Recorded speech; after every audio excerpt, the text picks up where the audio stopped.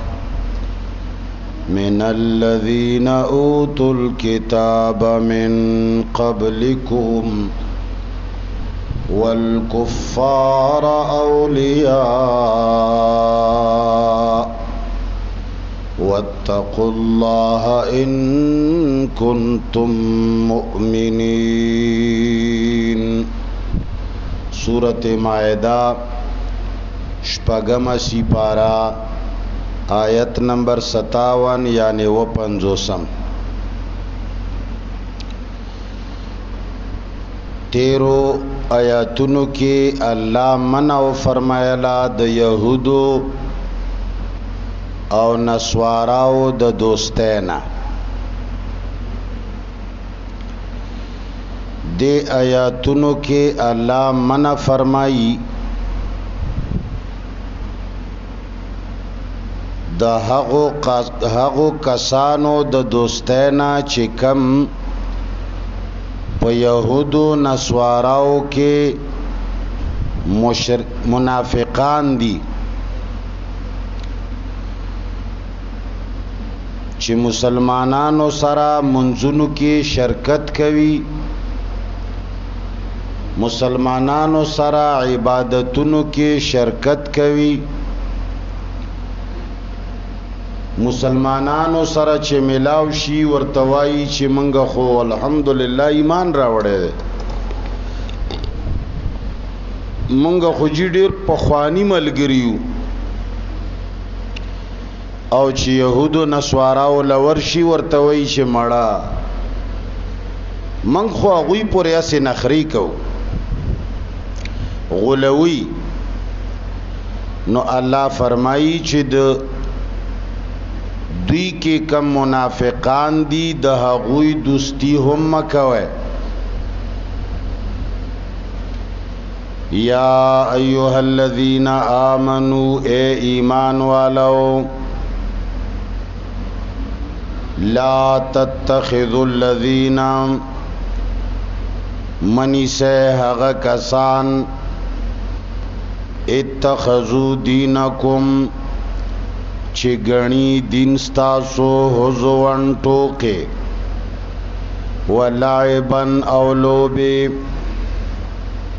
کم خلق چې ستاسو دین ټوکې ګڼي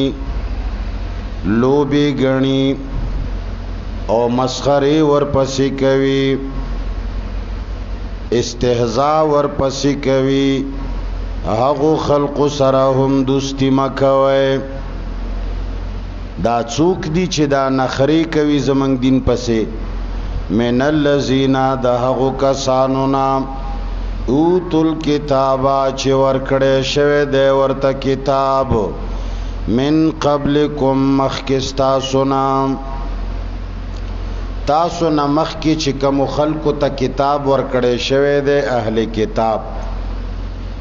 هغو اهل کتابو کې چې کم خلق تاسو سره ناسته پاسته کوي او درته وایي چې موږ ستاسو دوستان یو نو هغوی سره دوستی مه کوئ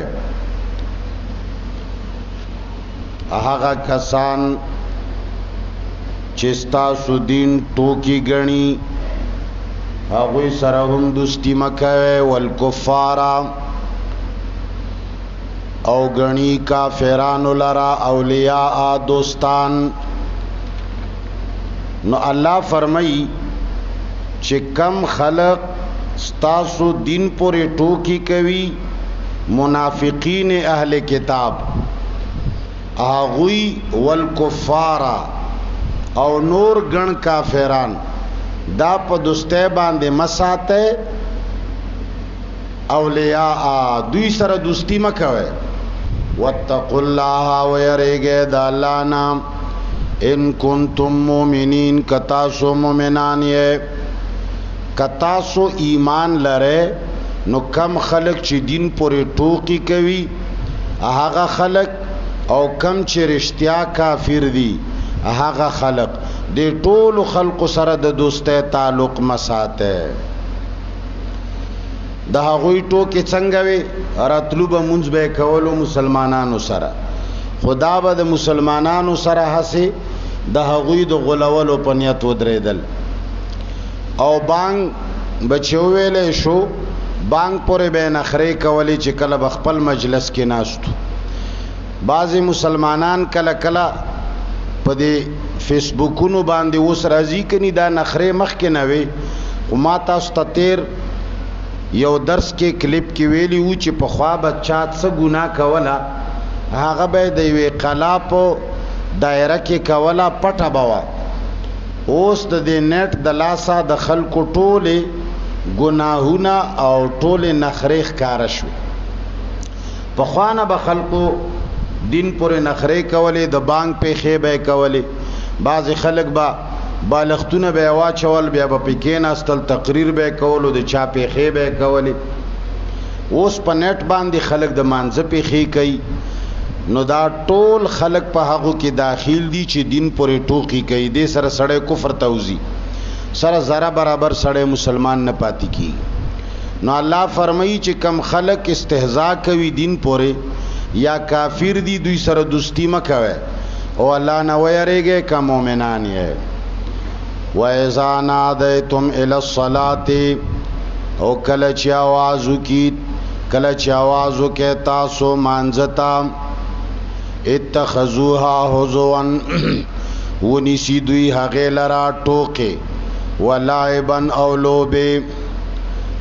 تاسو چې کلا مانځتا بلنه وکې بانګ وای نو دوی هغه پرې هم ټوکی کوي ذالک بانهم دا په دی وجا چې دوی قوم لا یاقلون دا سه قوم دی چې عقل نه لري الله فرمای ناپوهه خلق کم سړی چې په دین نه پويږي نو دا ناپویوي بے عقل وي عقل من سړی په مسلې فورا پويږي چې دا مسله حق ده او کدا حق ده دو کسان خبرې وکي یو بیان تیر کی بلم بیان تیر کی نو خيار سړی پويږي چې د دغ سړي خبره ټیک ده او د دغ غلطه ده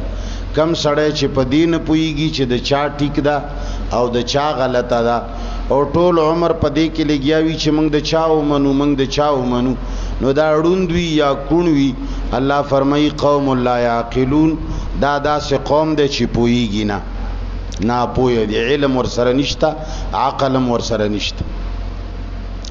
نو بهر حال کله چې بانګ وکړې شي نو دوی ستاسو بانګ ټوکی غني د دې لاندې بعضی مفسرینو لیکلي دي خصوصا مولانا سرفراز خان صفدر صاحب چونکه زمونږ د فقه یوه مضبوطه مسله ده چې د جمعې کله بانګ وشي نو د هغه بانګ نه رستو سودا تجارت دکانداری هر کار حرام دی او دا بانګ پورې ټوکې کول دي دا سخته خطره ده او مفسرینو دا هم لیکلي دي چې دا دومره سخت حکم دی که چا د جمعې د بانګ نه پس د مانځه نه مخکې نکاح وتړلو د یوې ښځې نو دا نکاح نه کیږي په کار دا دی چې مانځه نه پس دوباره بیا نکاح وتړي ځکه وایزا نودی للصلاه من یوم الجمعه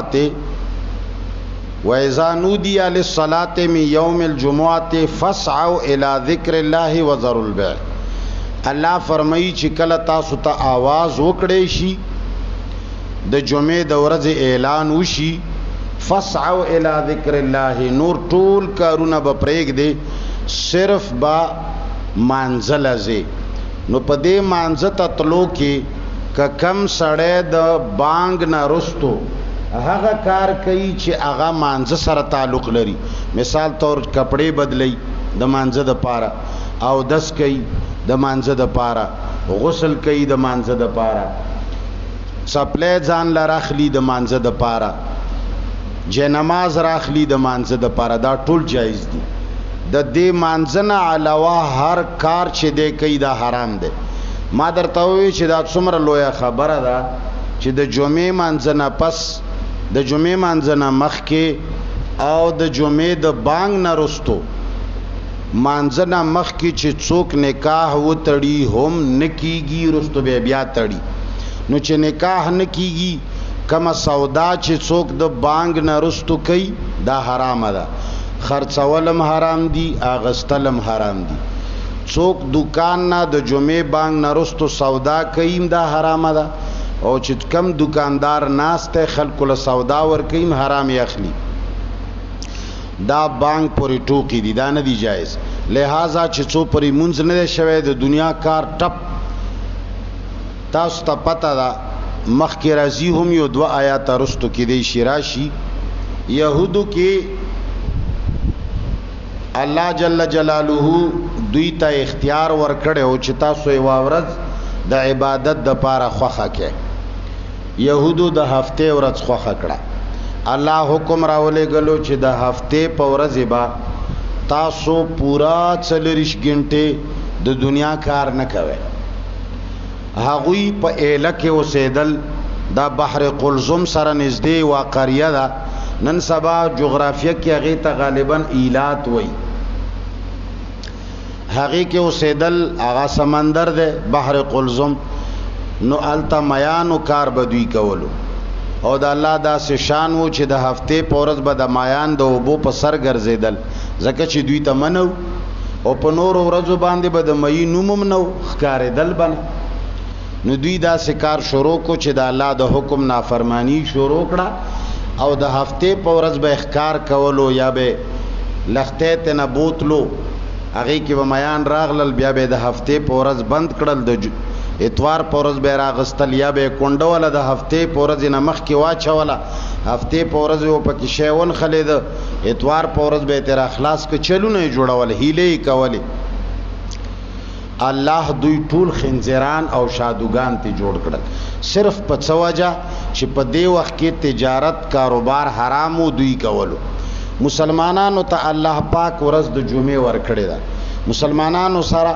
ډیر زیات نرمي الله کوي توبه یې صرف په توبه خلی سره قبليږي کپړو باندې بل مزګیو لګي وینځلو سره صفا کیږي وغیره وغیره نورو قومونو به چې یو بل ونه وجلو توبه به نه قبلې ده کپړې کې به چې کم ځای کې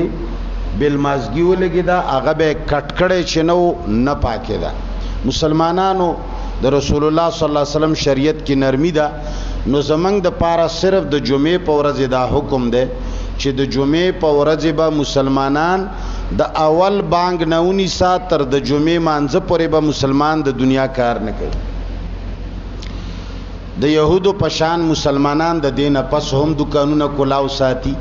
د يهودو پشان ته مسلمانان د دینه پس هم سودا کوي د يهودو پشان ته مسلمانان د دینه پس هم زمینداری کوي اقا د يهودو عادتونه ټول شتوي خو مولا نشته چې خلق ته وایي چې دا اومغه طریقې دي لهذا د جمعې اول بانګ نه ونیسه تر مانځه پورې هیڅ د دنیا کار جایز صرف هغه کار جایز دی چې کم د جمعې مانځه سره تعلق لري بس نو کچا په دې وخت کې څه سودا کوله دا به سوچه حرامه الله فرمایي دی يهودو ته وایا اهل کتاب او تا یا اهل الكتاب د کتاب والو هل تنقمونا مني منا بد نګنه تاسو زمنګنا دا منګ سره چې تاسو نه لګي الله ورته وی چې ورته دا سه وا چې دا منګ سره چې نه لګي نو رزق سنشتہ دا خلک وای یره پلانې مې ډیر بدی شي ولی یره چې تکبر ده پکې یره پلانی سره مې نه لګي ولی یره پټکې نه وای یره پلانی سره مې نه لګي مړه دا ټوپه کاګه پسره یره فلانی سره مې نه لګي یره دا بریتونه ډیر غټ دي یره پلانی سره مې نه لګي یره بس دا غشه ده پکې الله فرمایي دا چخ چی لټي دوی نه بریتونه بدی شي نه ټوپه بدی شي نه پګړې بدی شي دا پنځ پیره ده دا وهابي ده دا مړ دا نه پنځ پیرت بدی شي نه وهابیت بدی شي الله فرمایي دین بدی شي دین دا کم سړی باندې چې د ټک لګی کمې ډلې باندې چې د ټک لګی دغه ډلې کې دین نه دی خوښ نن دې دغه ټوپه والا سړی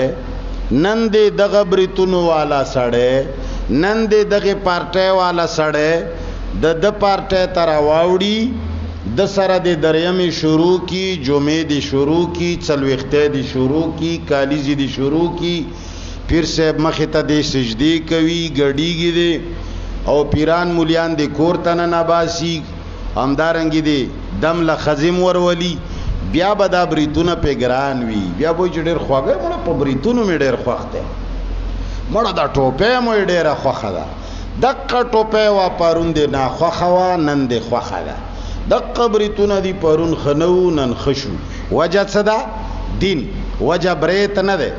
وجه ټوپه نه ده وجه پنځپریت نه ده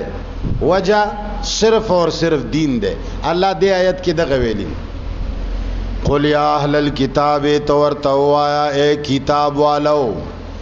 هل تنقمونا منا آیا تاسو بدګنه منا زمنګنا نه هل تنقمونا منا تاسو بد نه غنه زمنګنا الا ان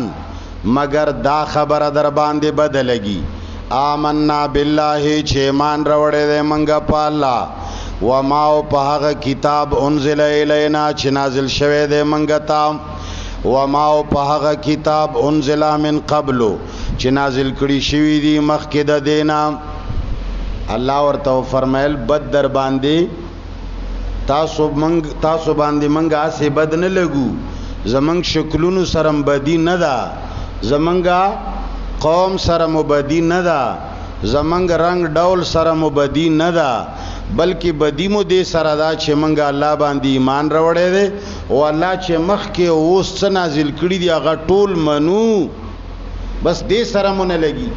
چې دې ولی دا دین منی دی ولی دا توحید توحید کوي نو الله فرمایي وان اکثرکم فاسقون او بل وجه دا ده چې تاسو موږ سره ولې نه لګي دویم وجه دا ده دا سيزونه خټول خدي چې دا موږ کړی دي ایمان په الله او ایمان په هغه څه چې الله نازل کړی دي مخ کې یا اوس دا خټولې خې خبرې دي بیا هم تاسو موږ سره نه لګي په دی وجه ولې اکثرکم فاسقون زکا چې اکثر د تاسو نه نافرمانه یی الله فرمای دا دی فاسقان نافرمان دی د الله نه لګي الله سره نه لګي منګ سره هیڅ بدی نشتا بدی اصل کې الله دین سره ده نو الله دیو کی چې د غیر چاپیر خلقو د الله دین سره روغه پیدا شي الله دې زمونږ ټولو روغه پیدا کی او صحیح روغه دې الله پیدا کی بس لفظي ترجمه ګوره ماره می ټیک نه دا کې دې شي دې په وجه ز چر ترترون کورځو کې چټیانې مو کم خدا جمعې نه پس بګور یا ایه الذین آمنو ای ایمان والو لا تتخذو منی سه الذین هغه کسان اتخذو دینکم چی گنی دین ستاسو هزوان ټوقه ولعبا او لوبه من الذین د هغو کسانو نه اوتو الکتاب چی ورکړی شوی دی ورته کتاب من قبلکم مخکی ستاسو نه والکفار او منی سه کافرانو لره اولیاء دوستان.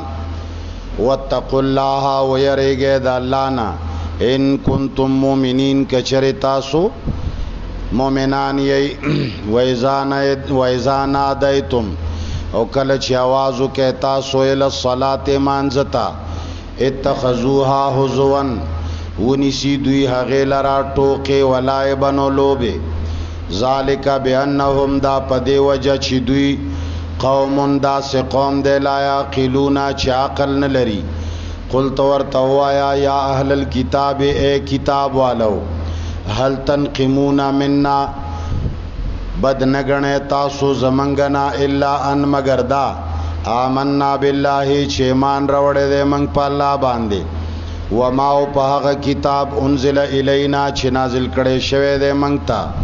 و ما او په هغه څه انزل من قبلک چې نازل شوی دی مخ من قبل او مخ کې د دینه او دا دومره خصيزونه پتا سو ولې بدلګي وان اکثرکم زکا چې اکثر د تاسو نه فاسقون نافرمانیه اللهم صل علی محمد وعلى ال محمد کما صلیت علی ابراهیم وعلی ال ابراهیم انک حمید مجید یا الله د حاضر جمع ایمان کامل نصیب کا کم ځای پوری چې आवाज زی چا ورته غوږ نیولې دی دنیا او اخرت خیسته کا یا الله زمونږ ټولو مشکلات حل کا د هر قسمه مصیبتونو او د فتنو نه موساته یا الله دی کلی لوی وړو ته قران او سنت نصیب کا یا الله د مسلمانانو دین سره روغ راواله یا الله په قران او سنت باندې پوي کا اللهم ربنا اتنا فی الدنيا حسنه